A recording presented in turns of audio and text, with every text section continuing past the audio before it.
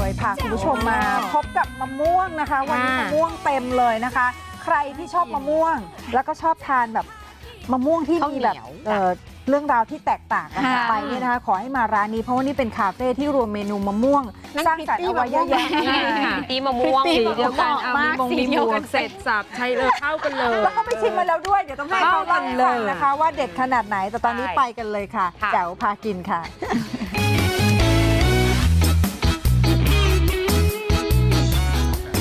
วันนี้พาคุณผู้ชมมาร้านนี้นะคะ Make Me Mango ค่ะ เป็นคาเฟ่มะม่วงสัญชาติไทยเจ้าแรกค่ะ เรามีมะม่วงเยอะนะคะ ก็เอาผลไม้ไทยที่อร่อยและคุณภาพดีอย่างมะม่วงน้ำดอกไม้ ผลที่เนื้อมันมีสีเหลืองนวลเนื้อแน่นปานกลาง แล้วก็มีรสหวานเนี่ยนะคะ เอามาสร้างสรรค์ให้เป็นขนมและเครื่องดื่มที่น่าทานแล้วก็หน้าตาน่ารักด้วยนะคะ รสชาติอร่อยถูกใจทั้งคนไทยและชาวต่างชาตินะคะ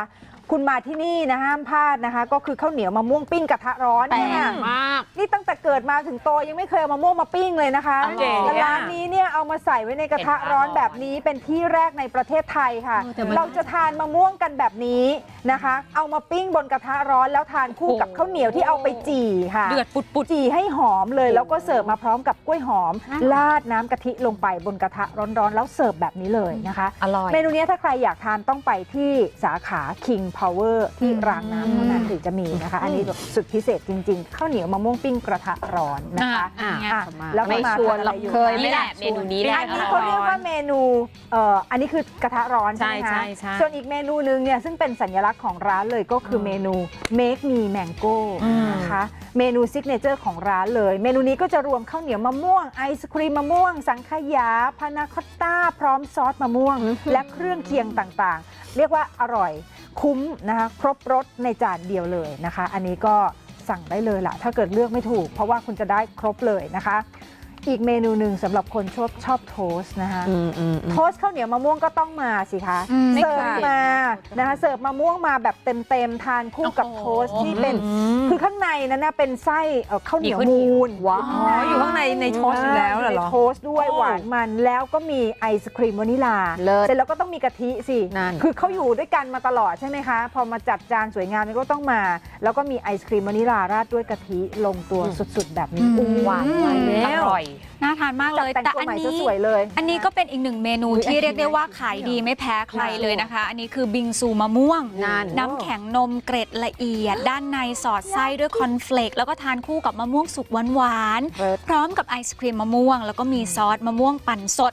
รับรองว่าเมนูนี้ทานแล้วฟินสุด ส่วนเครื่องดื่มแนะนำเป็นสาคูมะม่วงนมสดค่ะ อันนี้เหมือนจะธรรมดา แต่ค่ะบอกเลยว่าไม่ธรรมดาด้วยรสชาติของน้ำแข็งนม เออ ที่เป็นสูตรพิเศษของทางร้านเคยเห็นจะมีแต่ความแคนตาลูปใช่ไหมอ่าอันนี้ใช้อันนี้เป็นมะมะม่ม่ววง ง มันจะแบบเข้มข้นหวานมัน แล้วเขาก็จะทานคู่กับสาคู แล้วก็รวมถึงมะม่วงชิ้นโตหวานหวานๆด้วยนะสคะ มาพรคุณจะทานคนเดียวไปอีกนานไหมคะวิททุกเมนูเลยวันนั้นนะ ตาย ส่วนใครชอบแบบชิซ่ามๆอันนี้แนะนำเป็นน้ำมะม่วงโซดาเอออัอันนี้เขาบอกว่าจะอันนี้ค่ะชื่นใจเปรี้ยวซ่า แล้วก็แบบโอ้โหทานเพลินค่ะๆพร้อมกับเนื้อมะม่วงด้วย แป๊บเดียวนี้ก็หมดแก้วแล้วล่ะค่ะ ร้าน Make Me Mango นะคะ มีทั้งหมด 2 สาขาด้วยกันคือที่ท่าเตียน ส่วนที่เราถ่ายทำคือสาขา King Power รางน้ำชั้น 3 ค่ะ ร้านเขาเปิดทุกวันตั้งแต่ 10 โมงเช้าถึง 4 ทุ่มนะคะ คุณผู้ชมโทรไปหาเขาก่อนได้ที่เบอร์ 02 677 8518 ค่ะ หรือว่าสามารถเข้าไปดูก่อนก็ได้ที่ Facebook Make Me นี่ Mango Mango ค่ะ Cafe นะคะ หรือว่าใน Instagram ก็เป็น Make Me Mango นั่นเองค่ะแขกรับเชิญของเราวันนี้เพื่อที่เราจะได้ชิมกันสักทีแนะนำแนะนำแขกก่อนเอาเถอะท่านแรกคุณพลอยไพลินค่ะก่อนประเสริฐวิทย์เป็นเจ้าของร้านนะคะ ส่วนอีกหนึ่งคนค่ะ คุณวารีเจริญสุขสวัสดีค่ะเป็นผู้สาสวัสดีค่ะสวัสดีค่ะพี่วารีก็ได้สาธิตการป๊อปอัพมะม่วงป๊อปดึงขึ้นมาแล้วเอออันสวยนี้ที่พี่งามวรีทำเมนูชื่ออะไรคะ ชุด Make Me Mango ค่ะ Make Me Mango Signature าคืออันนี้หรือเปล่าคะอันนี้ใช่แบบนี้ใช่ไหมคะก็คืออันนี้ก็จะเป็นหนึ่งในเมนูเรียกว่ายอดฮิตที่มีการสั่งออกมาใช่ค่ะนก็เป็นเมนูที่แบบว่าถ้าจะแบบคิดไม่ออกอย่างที่บอกก็คือค่ะครบเลยในอันเดียว ไม่ต้องขอดูหน่อยว่ามีอะไรบ้างนะคะค่ะในนี้นะคะ ได้ค่ะ ก็เป็นมะม่วงของเราจะใช้น้ำมะม่วงน้ำอ่ามะม่วงน้ำดอกไม้เท่านั้นนะคะค่ะเพื่อความอร่อยแล้วก็จะมีถั่วทองค่ะ ไอศครีมมะม่วงนะคะ แล้วก็ข้าวเหนียวแล้วก็สังขยาแล้วก็พานาคอตต้านมใส่ซอสมะม่วงปั่นสดค่ะ สุดยอด น่ากินมากเลยแต่ทีนี้ฝนสงสัยมะม่วงเนี่ยมันไม่ได้แบบอร่อยทุกฤดูอะอืมไปหามะม่วงที่มันอร่อยอร่อยอย่างนี้มาจากไหนใช่คือเราจะมีซัพพลายเออร์คือเราจะคัดมะม่วงคุณภาพดีค่ะก็คือถ้าสมมติว่าช่วงไม่มีมะม่วงเนี่ยค่ะค่ะ มันก็จะแพงนิดนึงแต่เราก็ค่ะเหมือนแบบ ยอมจ่ายเพื่อแบบคุณภาพที่ดีของให้ลูกค้าได้ทานอร่อยเพราะพระยี่ห้อไว้เลยถ้ามาร้านนี้มีมะม่วงทานทั้งปีใช่ ทำไมต้องเป็นมะม่วงคุณอ๋อพลยจริง ๆ แล้วมันเกิดจากอะ story ก่อน อ่าก็คือตอนแรกสาขาแรกอยู่ที่ท่าเตียนใช่ไหมค่ะคะมันมีความผูกพันกับพื้นที่คือคุณคุณแม่เป็นคนพื้นที่ตรงนั้น ค่ะ เราได้บ้านมาหลังนึงแล้วก็แบบเอ้ยจะทำอะไรดี ซึ่งแบบเราก็เลยหาอะไรที่คู่กันกับคุณแม่ว่าเอาอะไรที่เราชอบเหมือนกัน ซึ่งแบบพอหน้ามะม่วงทีไรเนี่ยเราเอาแล้ว หน้ามะม่วงทีไรนี่แบบ mango lover ทั้งคู่ค่ะต้องไปสรรหามะม่วงมาทาน ใช่แล้วมันบวกกับพื้นที่ที่ท่าเตียนค่ะ ค่ะ ตรงข้ามเป็นวัดโพธิ์ข้างๆ ก็เป็นวัดพระแก้วก็คือมีค่ะแต่ต่างชาติเขาซึ่ง ต้องชอบมะม่วง ใช่ต่างชาติกับมะม่วงเป็นของคู่กันถ้าเป็นขนมหวานนะเนาะใช่เพราะฉะนั้นมันแบบลงตัวด้วยความรักความผูกพันแล้วก็สถานที่ ใช่เลยเจ๋งใช่ ทุกอย่างลงตัวสาขาแรก ก็เลยกลายเป็นว่าของร้านเราพอเราทำมาเราจะเรียกว่าเป็นมะม่วงคาเฟ่เลยล่ะเราจะใช่ค่ะคิดอย่างนี้ตั้งแต่แรกเลยใช่ไหมคะใช่คือเราทำเป็นต้องหการลายๆเมนู ใช่เราต้องการเป็นแบบมะม่วงเลย แล้วก็ แตกออกไว้ว่าแบบมีมะม่วงอะไรบ้าง ให้คนไทยได้ทานให้ต่างชาติได้ชิมอ่าเริ่มแล้วต้นใครเลยคิด มีเมนูอะไรก่อนเออแล้วนะคะใครคิดกระทะร้อนดิฉันสงสัยเนี่ย ก็คิดคิดกันทั้งทั้งทีมอะค่ะ คิดหลายรอบมากคือกว่าจะเป็นเมนูคือ เราต้องการอะไรที่แบบมันยังไม่มีใครทำและไม่เหมือนใคร แล้วเราต้องการโชว์ต่างชาติว่าคนไทยมีของดีนะ ทำไปกี่สิบรอบไปไปเรื่อยๆ จนแบบออกมาเป็นอันนี้ แล้วสงสัยว่ามะม่วงที่เอาไปปิ้งเนี่ยรสชาติมันเป็นยังไงอาสมาทานแล้วเป็นยังไงคะไปก็วางคือก็คือเป็นเหมือนมะม่วงน้ำดอกไม้โดยทั่วไป ค่ะแต่ว่าเออมันจะมีความอุ่น เพราะว่าในในกระทะร้อนพี่ปอลองนึกดูนะค่ะกะทิมันก็จะอุ่นอ๋อๆข้าวเหนียวที่ราดไปคืจีอกะทิมามันก็จะมีความหอมอร่อย ค่ะแล้วก็จะมีความนุ่มพอแบบอ่านุ่มกับ ความหวานของค่ะมะม่วงที่มันไปเจอกันๆะไปเจอกัน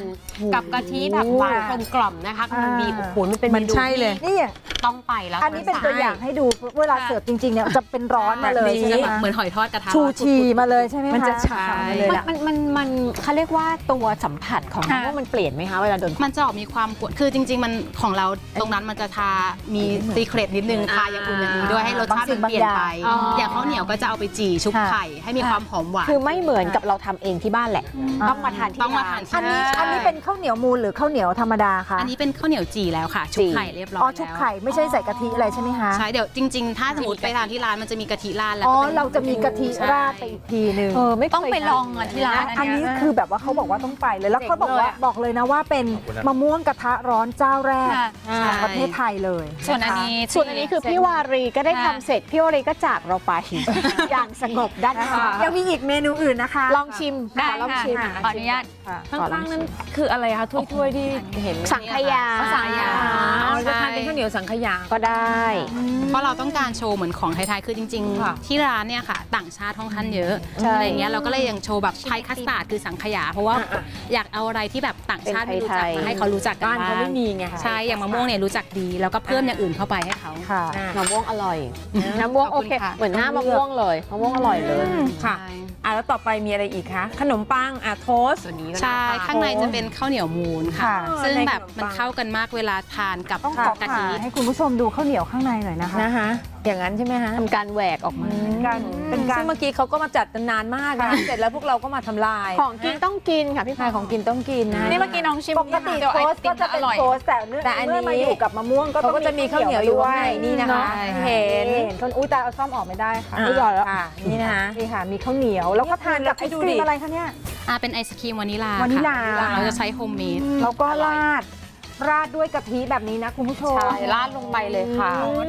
จริง ๆ มันเป็นของที่เราเคยเห็นทุกอย่างนะแต่แต่ว่าว่าคู่กันอยู่แล้วแต่ว่า mix and match ได้เก่งอะเก่งต้องตกแต่งไงเหมือนจับแต่งตัวใหม่เออ นะคะ แต่อันนี้อร่อยค่ะอันเนี้ยค่ะไอติมมะม่วง ทำเองมันมีเหรอ ความแบบมะม่วงแบบแล้วมีนมนมๆนิดนึงใช่ค่ะมคือใส่ให้แบบให้มันเข้ากัน ของค่ะ เราทุกอย่างจะทำรสชาติกลางๆ เนื่องจากต่างชาติเราทานเยอะ แต่ทุกค่ะอย่างให้มันลงตัวค่ะอืมที่มีความสนใจพานาคอตต้าใช่อยากชิมเมนูเนี้ย นะคะพามาพานาคอตต้านม ใช่ค่ะ ราดด้วยซอสมะม่วง ใช่มะค่ะตอนมะม่วงเราจะปั่นสดทุกวันค่ะ ค่ะความหอมหวานเราจะแบบว่าไม่ได้เป็นแบบ purée หรือไม่ได้เป็นอะไรอย่างนี้ค่ะ จะได้รสชาติมะทานม่วมางกให้พี่เต้นมะม่วงชิมสดอันนี้ แม้กระทั่งสาคู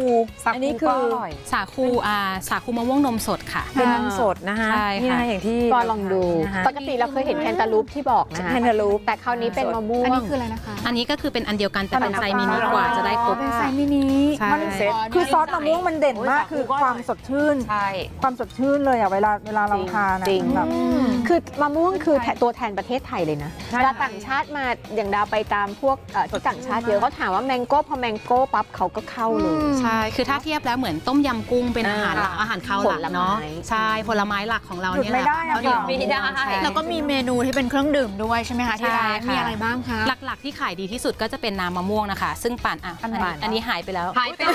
ทำไมใส่ไม่เป็นแก้วคะใส่เต็มนะคะเมื่อกี้เผยได้นะคะไม่จริง คะความเลอะของหลอดมาถึงขนาดนั้นต้องพี่ปอคนเดียว คุณจะมาพรด้วยเนี่ยค่ะเราก็จะแบบขายดีสุดๆ ก็จะเป็นใส่โยเกิร์ตค่ะ มันจะเป็นหวานหวานๆอมเปรี้ยวนะคะสูตรแต่โยถ้าเกิร์ตใช่ค่ะ ถ้าต่างชาติจะเป็นสาคูน้ำกะทิค่ะอ่าแล้วก็ที่ทานไปจะเป็นใส่พานาคอตต้า แล้วก็เป็น original ธรรมดาเรียกว่าเครื่องดื่มก็มีหลากหลาย โดยมีมะม่วงนี่แหละเป็นตัวยืนนะคะใช่ค่ะคุณผู้ชมคะใครชอบมะม่วง พลาดไม่ได้จริง ๆ กับ Make Me Mango นะคะ ร้านนี้เนี่ยนะคะ ก็มีกี่สาขานะคะ ตอนนี้สงตอนนี้มีสองสาขามีสองมีสาขาที่ไหนบ้างคะ ก็สาขาแรกอยู่ที่ท่าเตียนนะค่ะคะก็คือบ้านดั้งเดิมใช่ตรงข้ามวัดโพค่ะค่ะและสาขาที่ 2 ก็ถ้ามาอยากกินข้าวเหนียวมะม่วงปิ้งกระทะร้อนก็เชิญได้ที่ King Power เฉรางพาะน้ำชั้นเมนูสามนี้นี่ชั้นนะคะสามยังก็ใช่ค่ะเปิดบริการทุกวัน 10 โมงถึง 4 ทุ่มนะคะ ค่ะ สอบถามเพิ่มเติมได้ค่ะ 026778518 นะคะ ค่ะ026778518 วันนี้ขอบพระคุณมากขอบคุณนะคะขอบคุณขอบคุณค่ะค่ะแมงโก้นะคะ สวยทั้งของทั้งเจ้าของทั้งคนทั้งทุกอย่างหวาน ของเขาก็อร่อยอร่อยจริงแล้วอยู่เมืองไทยนี่ดีๆนะคะ เพราะว่าของกินเอามาทำอะไรก็อร่อยนะคะ ใช่ พูดถึงของกินแล้วนึกถึงสถานที่เที่ยว คราวนี้พาไปค่ะแจ๋วทั่วไทยพาไปที่หัวหินค่ะ เทศบาลเมืองหัวหินนะคะ เตรียมต้อนรับนักท่องเที่ยวในช่วงเทศกาลปีใหม่ค่ะ ด้วยการจัดงาน Blue Pot ดินแดนดอกไม้ใต้ทะเลนะคะณบริเวณศูนย์การค้า Blue Pot หัวหินรีสอร์ทมอลค่ะ มีการนำพันไม้ดอกนานาชนิดหลากสีสันมาตกแต่งงดงามตระการตา ภายใต้คอนเซปต์ Journey into the Deep Blue Sea นะคะท่องไปในโลกใต้สมุทรในรูปแบบแฟนตาซีค่ะ ปิดโลกจินตนาการใต้ท้องทะเลในบรรยากาศหลากหลายมิตินะคะ ได้แก่ อุโมงค์ดอกไม้เกลียวคลื่นมหาสมุทรเขาวงกฏหันษาใต้ท้องทะเลค่ะ คุณผู้ชมสามารถไปสัมผัสความประทับใจนี้ได้นะคะ ตั้งแต่วันนี้จนถึง 3 มกราคม 2561 ก็อยู่กันข้ามปีไปเลยนะคะค่ะ จังหวัดอะไรมีของดีก็เอามาอวดกันตอนนี้ค่ะเดี๋ยวข่าวต่อไปพาไปดูใบไม้อ่าใบไม้เปลี่ยนสี ไม่ต้องไปถึงต่างประเทศ นี่คือใบเมเปิลด้วยนะคะ เมเปิลเปลี่ยนสีที่ภูกระดึงจังหวัดเลยค่ะ แน่นอนที่สุดจังหวัดเลยที่ภูกระดึงเนี่ยก็ไปพิชิตความสูงของภู แล้วก็ไปรับลมหนาวเลขตัวเดียวแน่นอน ค่ะมีสิ่งที่คุณต้องไปสัมผัสในช่วงเดือนนี้เท่านั้นดูค่ะสวยก็คือใบเมเปิลเปลี่ยนจากสีเขียวเป็นสีแดงสดทั่วผืนป่า แล้วโรยลงมาเหมือนคุณเอามือเหมือนปูพรมเลยอะสวยมาก ๆ เลยนะคะ เขาบอกเมเปิลเนี่ยสวยในอะ ที่ที่เป็นเมืองหนาวเนี่ยปลูกที่ไหนก็ได้ ค่ะ แต่ไม่มีที่ไหนในเมืองไทยที่เมเปิลจะสวยเท่าที่ภูกระดึง ใครอยากสัมผัสเมเปิลสีแดงเก็บกระเป๋าเลยนะคะ เพราะ จะเป็นสีแดงแค่ช่วงกลางเดือนมกราคมเท่านั้น หลังจากนั้นก็จะเปลี่ยนเป็นสีเขียวตามปกติ ซึ่งต้องรออีกหนึ่งปีค่ะถึงจะมาอวดความสวยงามแบบนี้ภูอันนี้คือต้องเดินขึ้นไปต้องเดินะนขึ้นไปไม่ได้อยู่ในตีนตีนปีนภูไม่มีใช่ไหมคิดว่าน่าจะมีนะ บริเวณนั้นอ๋ออ๋อเนี่ยโอเคแต่ว่าความสูงในเมเปิลก็ต้องอยู่ที่สูงและที่หนาวเย็นนิดนึงอะยิ่งต้สูองงเย็นก็ได้ก็ต้องปีนขึ้นไปสักหน่อย